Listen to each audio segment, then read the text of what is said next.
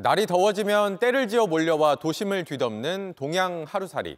올해는 더 일찍 나타났습니다. 어떻게 이런 대규모 벌레떼가 도심까지 몰려오게 되는 건지 동양 하루살이가 개체 수를 늘리고 처음 날아오르는 서식지 현장을 한민정 기자가 취재했습니다.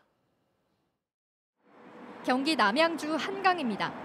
대표적인 동양 하루살이 유충 서식지입니다. 생태학 전문가를 포함한 연구팀이 물로 들어갑니다.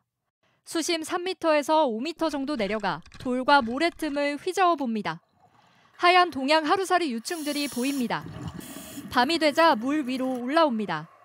팝콘처럼 부풀어 올랐다 날개를 펼칩니다. 그리곤 때리지어 하늘로 날아오릅니다. 유충에서 탈피하는 이른바 우화를 하는 겁니다. 우화를 할 때 가장 취약할 수가 있거든요. 근데 얘네들은 동시에 발생을 함으로써 포식자들한테 포식될 가능성이 현저하게 좀 줄어들 수가 있는 거죠.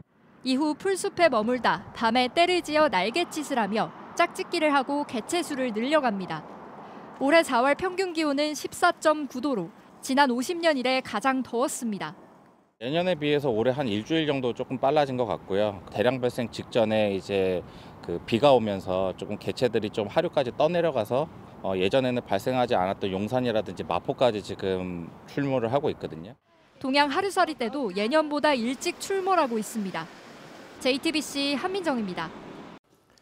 JTBC 뉴스를 시청해 주신 여러분 고맙습니다. 저희는 저녁 6시 50분 뉴스룸에서 뵙겠습니다.